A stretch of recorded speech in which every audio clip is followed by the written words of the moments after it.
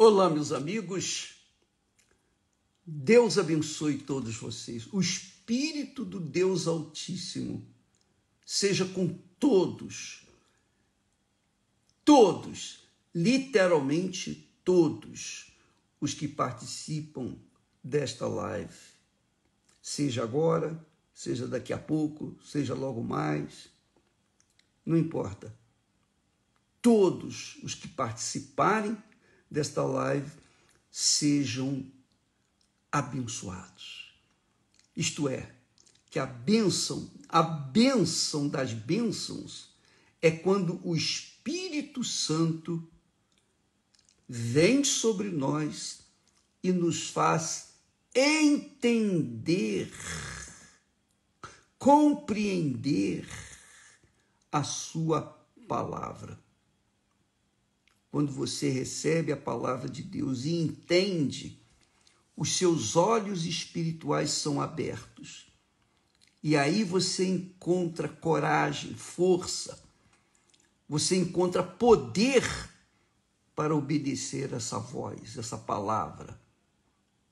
E então você vai colher os frutos da sua obediência a esta palavra, a este entendimento, a esta compreensão da vontade de Deus para a sua vida.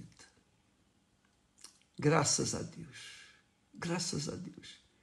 O Deus, o Deus vivo, o Deus todo-poderoso, onisciente, onipresente, onipotente, seja com todos em o nome do seu santo filho Jesus. Amém. Graças a Deus. Então vamos à meditação. Eu eu peço que o Espírito Santo venha iluminar o nosso entendimento para que possamos compreender a sua vontade. De nada adianta a gente ler as sagradas escrituras e não entender. Não é verdade? Então a gente tem que entendê-la, para que então venhamos colher os frutos das suas bênçãos, os frutos das, dos seus conselhos, da sua santa palavra. É como o próprio Deus disse: o meu justo viverá pela fé. Vive, quer, o meu justo quer dizer, terá vida pela fé. Mas como ter fé? A fé vem, a fé vem pelo ouvir a palavra de Deus. Mas para ouvir a palavra de Deus, é preciso ter ouvidos. É preciso ter ouvidos, mas não ouvidos, esses ouvidos aqui nosso, não. Ouvidos espirituais, não ouvidos carnais, mas ouvidos espirituais. Por isso Jesus disse: quem tem ouvidos, ouça o que o Espírito Santo diz. Então, o Espírito Santo, eu sei que o Senhor está nos assistindo, vendo, o Senhor está aí com essa criatura que está nos assistindo, comigo aqui. Então, ajude-nos a comunicar a tua vontade para cada um, em nome do Senhor Jesus. Bem,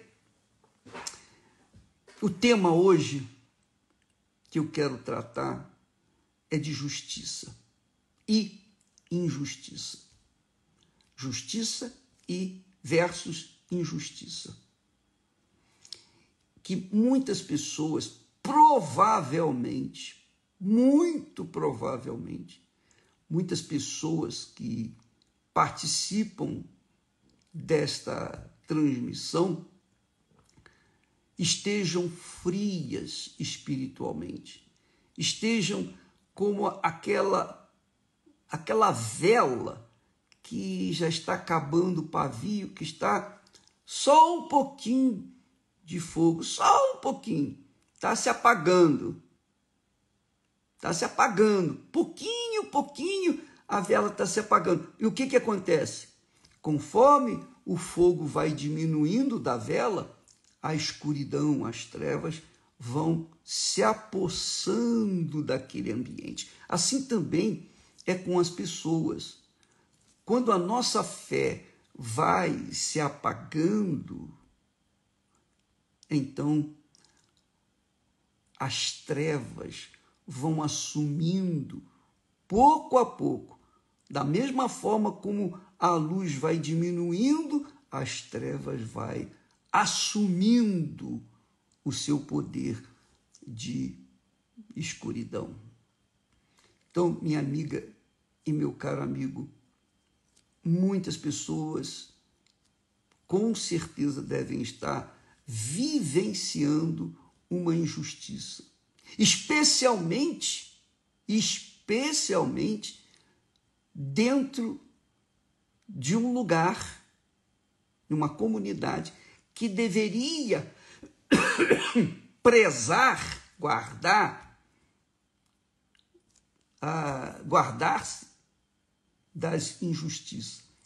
Então, as pessoas se convertem e ficam na igreja, poxa, creem no pastor, creem no obreiro, no bispo, e creem na palavra de Deus, está ali lutando contra os seus problemas.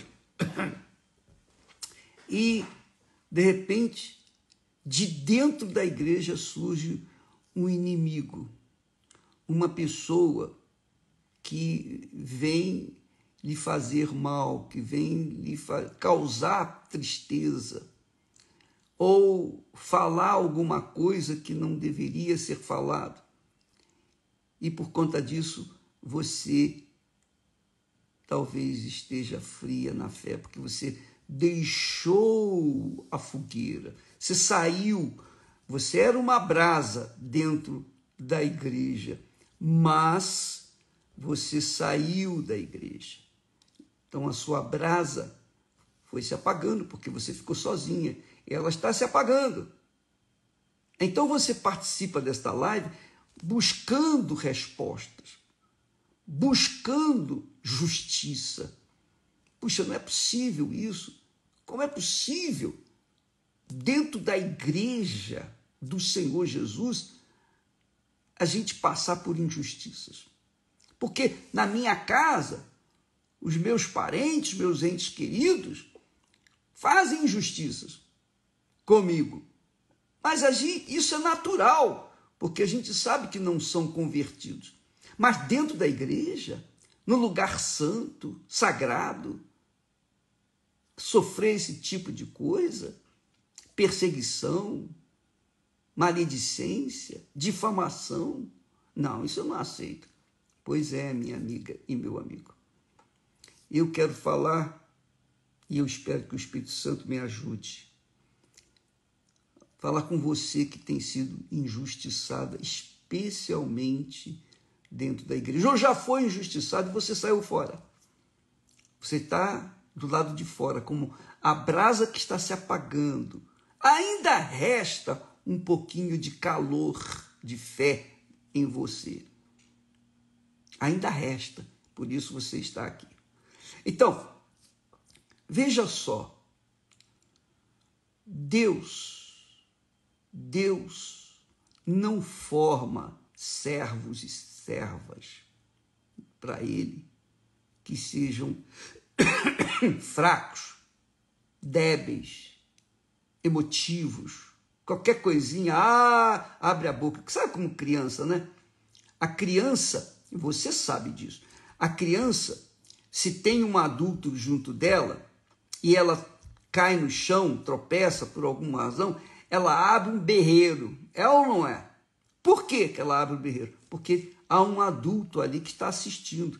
Então ela não aconteceu nada, mas ela faz daquele daquela quedazinha, ela faz uma algazarra. Por quê? Porque ela quer chamar atenção do, do adulto. Se não tiver ninguém, ela caiu, na mesma hora ela sacode a poeira, se levanta, sacode a poeira e vai embora. Não chora, não faz nada. Mas, se tiver alguém, ela quer reclamar, ela quer lamentar, ela quer chorar, ela quer, enfim, você já sabe. Então, assim também tem sido você, minha amiga e meu amigo, que foi ferida, ferido na igreja, donde você esperava, nunca esperava o que aconteceu, aconteceu com você, uma injustiça. Eu quero falar para vocês, por experiência própria, eu posso falar isso, eu tenho autoridade para falar o que eu estou falando sobre injustiça. Porque eu fui injustiçado. Eu tenho sido injustiçado. E eu vou continuar sendo injustiçado. Porque eu vivo num mundo de injustiça. Eu vivo num mundo de mentira. Esse mundo é um, é um mundo de mentira. É um mundo de, de calúnia. É um mundo de difamação. É um mundo de glamour falso. É um mundo cão, satânico, diabólico.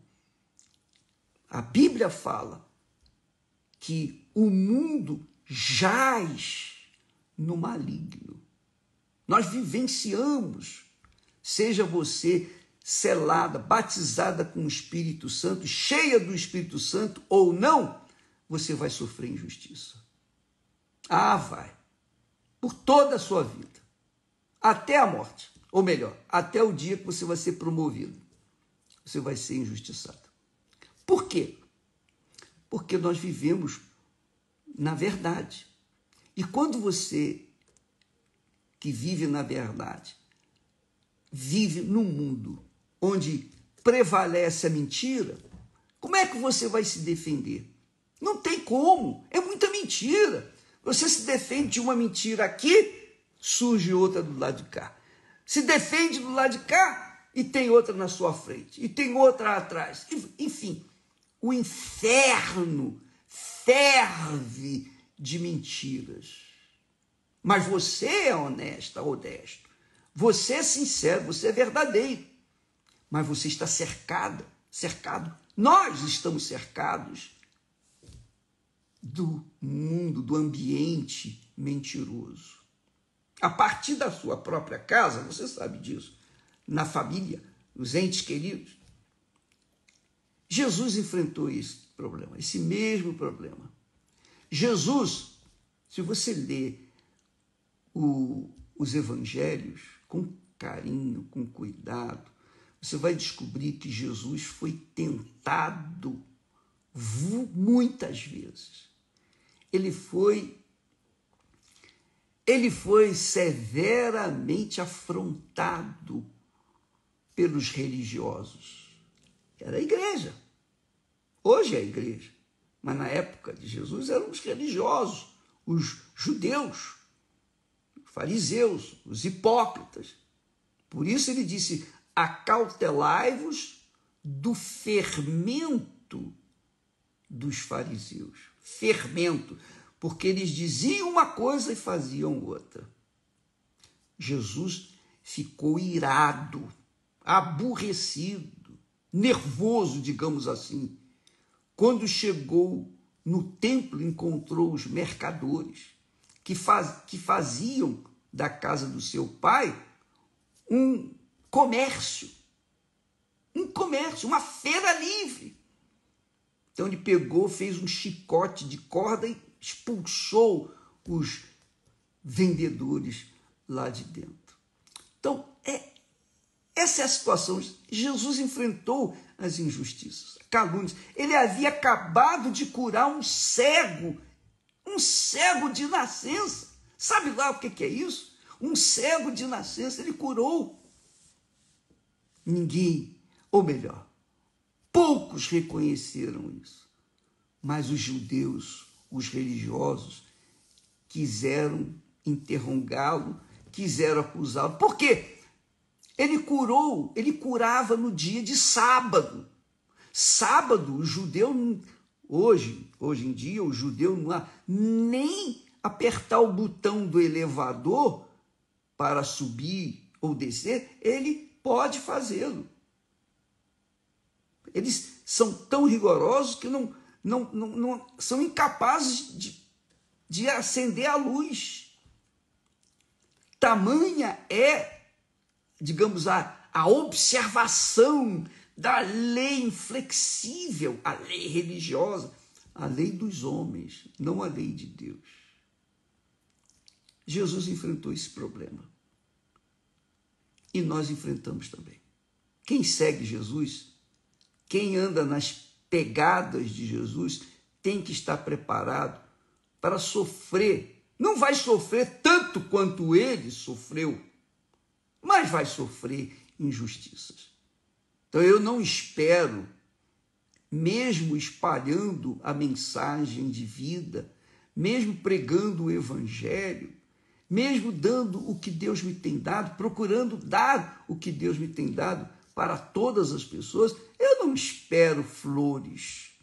Eu não espero um caminho limpinho, pavimentado, não. Eu espero mesmo revés, porque eu ainda estou nesta nesta casa de barro, que é o meu corpo. Ainda estou aqui. E essa foi a razão porque Paulo falava. Paulo falou: para mim, o morrer, quer dizer, para o mundo é morrer, mas para Deus é dormir, adormecer. Para mim, o adormecer ou morrer é lucro. Para mim também é lucro. É lucro. Por quê? O que, que eu espero dessa vida? Qual é a, a minha esperança neste mundo. Não tenho nenhuma expectativa deste mundo, porque ele não tem nada para me dar. Nada. Zero. O mundo não tem nada para me dar. Então eu já sou, já sou inimigo do mundo, como o mundo é inimigo também da minha pessoa. Porque eu sei que você abraçando a verdade, você vai ter que enfrentar mentira todo santo dia. E o mundo gosta de mentira. O mundo vive de mentira. O mundo vive de injustiça. É o que mais existe neste mundo é injustiça. E sempre, sempre essas injustiças vão de uma forma ou de outra respingar naqueles que vivem na justiça. Não tenha dúvida. Principalmente nos que vivem na justiça, nos que vivem na verdade. Então, amiga e amigo, não fique choramingando, achando que fulano, beltrano foi injusto com você, porque você também tem sido injusto com outras pessoas. É ou não é? Fala a verdade. Eu não posso ficar reclamando, lamentando o que o fulano fez comigo. Eu também sem querer, sem desejar, acabo fazendo, cometendo injustiças, porque eu sou homem, eu sou carne, eu sou barro.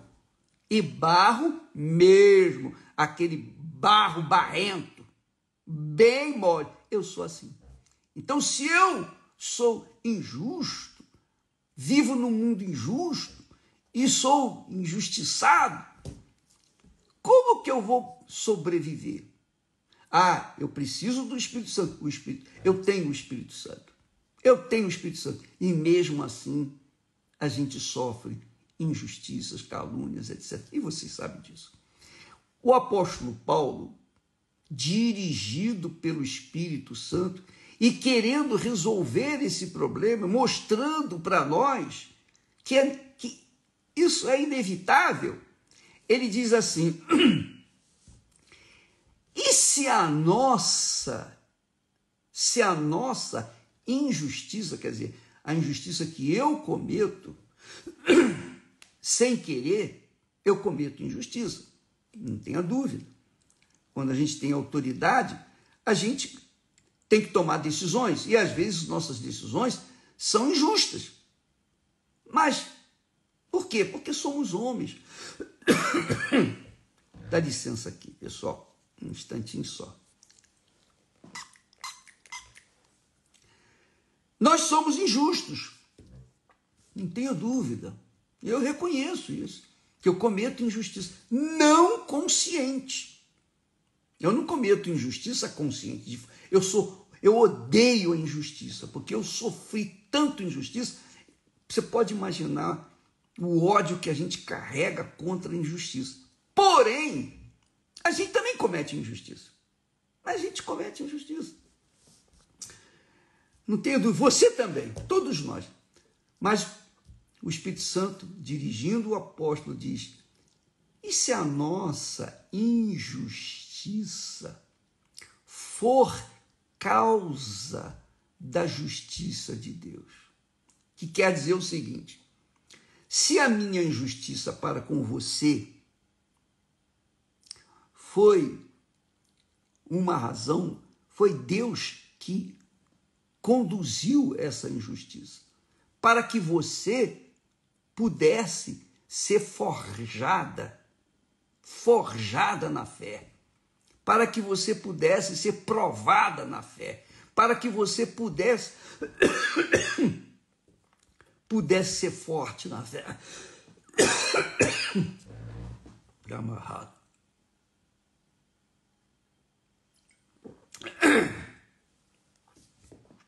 Para que você pudesse ser forte. Porque os meus inimigos, os meus adversários, digamos, que eu os meus adversários durante todos esses anos de Igreja Universal do Reino de Deus, desde o princípio, são quase 50 anos, meio século de perseguições, injustiças, calúnias e toda sorte de males que nós sofremos só porque queríamos pregar o Evangelho, que é a palavra de Deus, que é a luz da salvação. E, e quem é o responsável por toda essa é, perseguição cruel? É o diabo. O diabo usa pessoas. O diabo usa pessoas para fazer isso aí, cometer injustiça. Então, o apóstolo aqui diz, ensina, se a nossa injustiça, por exemplo, digamos que o diabo me inspirasse, tivesse me inspirado para cometer uma injustiça. Então eu cometi essa injustiça, só que Deus aproveitou aquela injustiça para fazer a pessoa que foi injustiçada mais forte. Mais forte.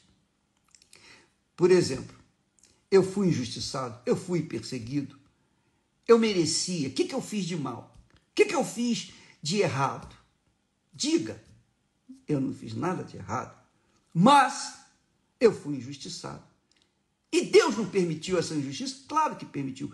Por quê? Porque Deus aproveita as injustiças que nós sofremos como combustível para a nossa fé. Porque quando quando a minha filha nasceu, e agora veja bem, quando a Viviane nasceu com o lábio leporino dupla. Ela, quando, quando eu a vi, eu falei: não, não é possível. Subiu dentro de mim uma revolta, uma tremenda revolta. E eu disse: não aceito isso. Então, para mim, era, eu estava sendo provado, passado, eu estava passando pelo crivo do forno, eu estava sendo forjado na minha fé. Deus sabia o que estava fazendo. Deus permitiu aquela injustiça. Deus permitiu aquela dor. Deus permitiu aquela afronta da minha fé. Mas graças a Deus, porque naquele momento em que eu me senti um lixo dos lixos, revoltado. Aí é que eu dei um grito de independência, porque nós queríamos fazer a obra de Deus, queríamos pregar o Evangelho, mas tinha um monte de barreiras, monte de barreiras, problemas e problemas e problemas, tentando nos impedir de largar tudo e partir para tudo ou nada. Ou vai ou racha, ou é ou não é, ou Deus existe ou não existe. Se ele existe é comigo, eu vou arrebentar. Se ele existe, ou se ele não existe, eu vou me arrebentar. Das duas, uma. Mas uma coisa eu vou saber: se ele existe, eu vou arrebentar. Então, essa, essa decisão, sabe? Essa aquele último momento, aquele último segundo que o sujeito faz o gol, que o goleiro falha e o gol e a bola entra. Pois bem, aquele dia, aquele momento, aquele instante da revolta foi o estupim para me dar o brado de independência largar tudo. É tudo ou nada. Porque eu senti na carne, na pele, eu senti na alma, eu senti no espírito, eu senti em todo o meu corpo, em toda a minha essência, toda na minha fé, eu senti a dor das pessoas deste mundo que estão sofrendo, não tem ninguém por elas. Eu senti essa dor. E eu disse: agora que eu vou largar tudo, agora que eu vou partir por tudo, agora eu não quero nem saber se a Esther concorda ou não. Eu vou fundo nesse, nesse propósito. E com a, o nascimento da, da Viviane, nasceu a Igreja Universal do Reino de Deus. Você entende, minha amiga, meu amigo? Então, Deus quer fazer. Você que foi injustiçada, injustiçado, dentro da igreja, graças a Deus. E eu estava dentro da igreja. Eu estava dentro de uma denominação.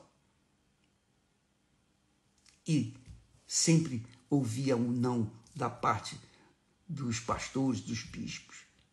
Dizia: ah, esse menino não tem.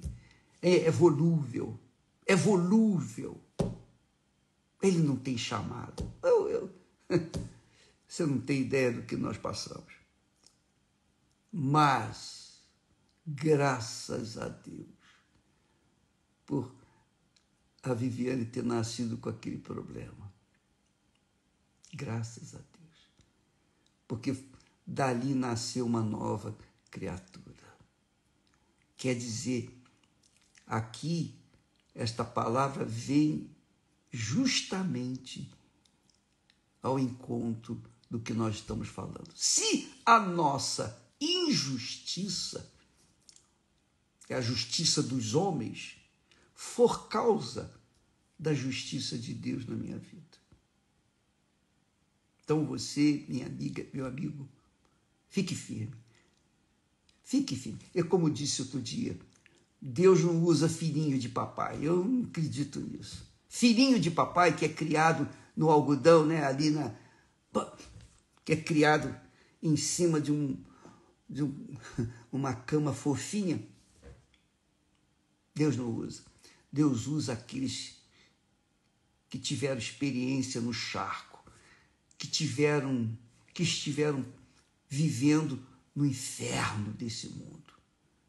Por isso nós priorizamos levar o Evangelho às pessoas pobres, às pessoas excluídas da sociedade, às pessoas que ninguém quer. Essas pessoas é que Deus quer. Por isso está escrito, Paulo escreveu, o Espírito Santo de Deus, que Deus escolheu as coisas fracas, as coisas imprestáveis, os desprezados, os desprezíveis, os que não são nada, para envergonhar aqueles que dizem, que pensam que são alguma coisa. Então, a humilhação, a injustiça que nós passamos é para a glória de Deus. Não é isso que você crê?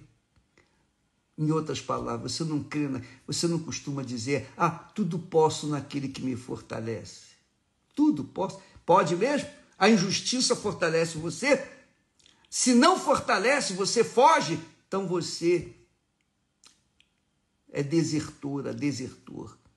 Mas se a injustiça que causaram com você causa dentro de você uma revolta e você vai para cima dela com toda a sua força, com toda a sua fé, aí você vai ver que a injustiça foi uma bênção na sua vida. Foi uma bênção e é uma bênção, pois todas as injustiças que eu sofri foram bênçãos na minha vida. Graças a Deus por elas. Porque não fossem as injustiças, eu seria um filhinho de papai. Não, Deus não usa filho de papai. Deus usa os que são forjados na fornalha da fé. Na fornalha da fé. A fé não é beijinho, beijinho, não, minha amiga. A, fé não tem nada a ver com sentimento, com aquela ternura, aquela educação, aquele polimento. Nada disso. A fé tem a ver com brutalidade franqueza, coragem para falar o que tem que ser falado. Você assume a verdade independentemente do que os outros vão falar ou deixar de falar. Você assume o caráter de Deus num mundo desgraçado de mentira. Então você tem que ter coragem para isso. Você tem que passar pelo crivo da fornalha para ser forjado como foi forjado o nosso Senhor Jesus Cristo.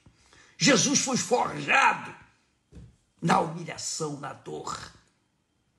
Foi o homem de dores, de sofrimento, de humilhação. Foi pregado na cruz nu, completamente nu. Então, essa figura que eles fazem de Jesus pregado na cruz com um pano cobrindo o a, a seu órgão genital, isso é mentira. Ele foi pregado nu. É claro que ninguém vai colocar, é, a, a colocar de assim transparente porque fica vergonhoso, mas fica invendável, digamos assim. Mas essa foi a realidade. Isso você tem que saber. Ele foi humilhado ao extremo, ao extremo. E venceu. Então é esse o nosso líder, o nosso guia, o nosso Senhor, o nosso Salvador, o nosso Deus. Esse é o nosso Todo-Poderoso, o nosso onisciente, onipresente, onipotente. E Ele é grande, minha amiga, meu amigo. Ele é grande para os que pensam como Ele, para os que pensam grande, para os que enfrentam o inferno, mas não desiste daquilo que, tem, que Deus tem colocado no seu coração, que é essa fé poderosa, ou melhor, no seu coração, não na sua mente a fé na sua mente, no seu intelecto. Eu creio, eu creio nisso. Eu creio, independentemente do que as pessoas dizem ou pensam a meu respeito. Dizem que eu sou maluco, que eu sou megalomaníaco, e eu sou megalomaníaco mesmo, porque o meu Deus é grande. E quem quer, quem quer, tem que saber que vai sofrer injustiça por calúnias e difamação e etc, etc. Você vê quantas pessoas, porque alguém posta, alguém publica na internet uma coisa que de, degrine a sua imagem, essas pessoas acabam se matando. Porque denegriram a minha imagem. Ah, minha amiga, meu amigo, Deus não pode usar gente assim. Gente que qualquer espirrinho vai para o quarto, deita na cama e fica ali esperando passar a, a gripezinha ou o resfriado. Não, minha amiga, ou é ou não é, ou você é ou você não é. Ou você é ou você não é. Se você é de Deus, você persegue aquilo que você crê persegue uma vida com Deus, persegue o selo do Espírito Santo, porque o Espírito de Deus não é espírito de fraqueza. O Espírito de Deus que você quer receber é o espírito de fortaleza, de poder, de moderação.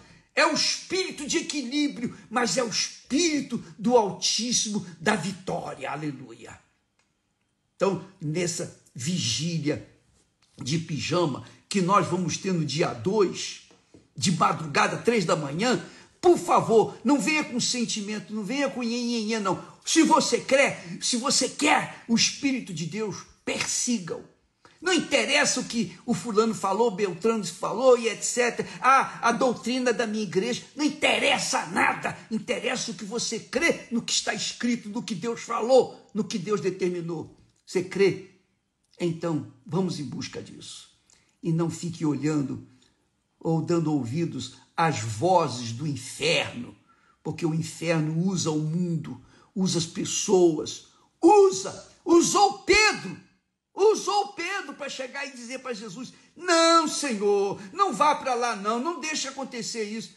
E Jesus disse para Pedro: Olha, Pedro, arreda Satanás, porque não cogita das coisas de Deus, mas dos homens. É isso aí, minha amiga, meu amigo. Seja forte. Você é forte. Você é mulher, você é forte. A Bíblia diz que a mulher sábia que edifica a casa. A mulher com sabedoria edifica a sua casa. Mas a tola, a estúpida, com as próprias mãos a derruba. Então, a família está pautada em cima da mulher. Ela que constrói a casa, edifica a casa. Ela é fraca? Fraca coisa nenhuma. fraca. Fraca coisa nenhuma. Ai de mim se não fosse a Esther para cuidar da Viviane, da Cristiane, dos problemas caseiros. Ai de mim se não tivesse uma companheira de verdade, verdadeira. Uma mulher, eu não diria uma mulher macho, não. É uma mulher fêmea mesmo, forte. Do contrário, não haveria igreja universal. Não haveria. E Deus colocou a pessoa certa para nós. Minha amiga e meu amigo, pense nisso. Você está sendo humilhado? Não fica chorando, não. Você está querendo o quê? Lenço? Você está querendo consolo, conforto? Não. Se o Espírito Santo não confortar você, nenhum conforto vai resolver o seu problema. É ou não é? Quem poderia me confortar naquele momento, naqueles momentos dolorosos? Ninguém. Muito pelo contrário, o Espírito Santo me empurrou. Vai, vai fundo, vai fundo que eu sou contigo. Eu aceitei o desafio. Ou é tudo ou nada, ou é ou não é. Deus abençoe a todos. Vou falar mais não, porque amanhã falaremos mais.